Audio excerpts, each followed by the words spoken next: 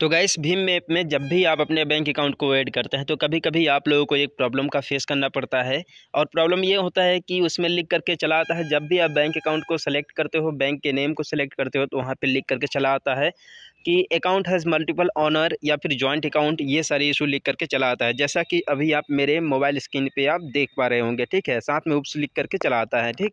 तो गाइस इस वीडियो में हम लोग कंप्लीट बात करेंगे कि आप कैसे इस प्रॉब्लम को सॉल्व करोगे और फिर इसका मेन प्रॉब्लम क्या है? मेन रीज़न क्या है जिसकी वजह से ये लिखता है, ठीक है? तो गाइस यहाँ पे आपने देखा ना कि मैंने यहाँ पे स्टेट बैंक ऑफ़ इंडिया को सेलेक्ट किया, जबकि मेरा सेम नंबर है, वही नंबर जो नंबर बैंक अकाउंट में लिंक है, उसी से मैंने भीम का आईडी भी बनाया है, ठीक? लेकिन फिर भी ये इश्यू हो क्यों रहा है? तो गाइस इस प्रॉब्लम का सलूशन बताने से पहले मैं आप लोग को एक चीज़ बता दूँ यार कि अगर आप मेरे चैनल पे नए हो और अगर आपने सब्सक्राइब नहीं कर रखा है तो अभी सब्सक्राइब कर लेना और वीडियो को लाइक भी कर देना, क्योंकि बाद में आप भूल जाओगे।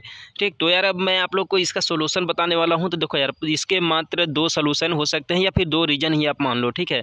दो रीज़न होते हैं जिसकी वजह से ये प्रॉब्लम आप लोग के सामने आता है और आप लोग को फेस करना पड़ता है। पहला रीज़न ये है कि आपने भीम ऐप में जो मोबाइल नंबर से साइनअप किया है, वो किसी और नंबर से साइनअप किया है, किसी और सिम के नंबर से साइनअप किया है, ठीक है? और आपके बैंक अकाउंट में कोई नंबर लिंक है, ठीक है? तो यार आप लोग को ये सबसे पहले कन्फर्म कर लेना है कि आपने भीम का आईडी उसी नंबर से तो क्रिएट किया है ना, जो नंबर आपके बैंक अकाउंट में लिंक है, ठीक?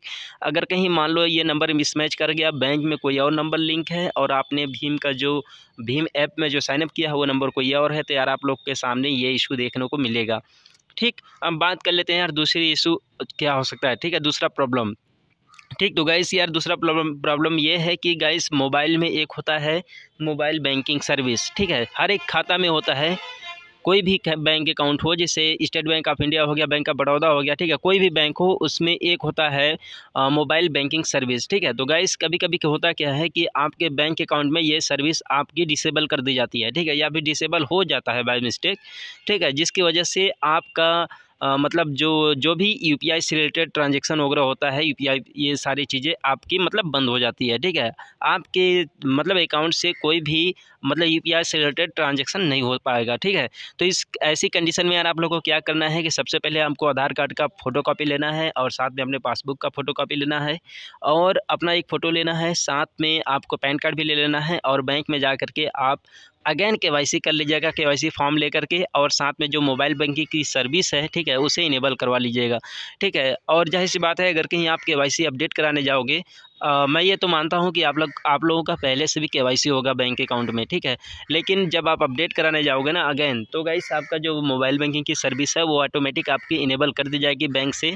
और इसके बाद जो आपका जो भाई ये मल्टीपल ऑनर का या फिर इशू आ रहा है ये सॉल्व हो जाएगा। ठीक अगर इसके बाद भी गाइस नहीं होता है तो आप लोग एक बात गौर करना यार कि आपका जो मोबाइल नंबर लिंक है ना आपके बैंक में कहीं वही मोबाइल नंबर दो तीन बैंकों में तो लिंक नहीं है। ठीक है, अगर कहीं यार, अगर आपका ये ही नंबर दो से तीन बैंकों में लिंक है ना तो यार आपके साथ ये इशू होगा ही होगा। आपका फिर बैंक अकाउंट लिंक नहीं हो पाएगा और मल्टीपल का इशू आएगा, ठीक है? तो इसलिए सबसे पहले श्योर कर लें कि आपका एक ही नंबर, एक ही बैंक अकाउंट में लिंक हो, ठीक है? तभी आप ये करें और आपका प्रॉब्लम सॉल्व हो जाएगा, ठीक है? तो यार, मैं आप लोग को बस ये छोटा सा एक सोल्यूशन देने की कोशिश कर रहा था और मैं आशा करता हूँ यार कि आप लोग को ये सोल्यूशन मतलब यार हेल्पफुल लगा होगा तो इस चैनल को अभी सब्सक्राइब कर देना और वीडियो को लाइक भी कर देना यार, क्योंकि यार सपोर्ट ही बहुत महत्व रखता है।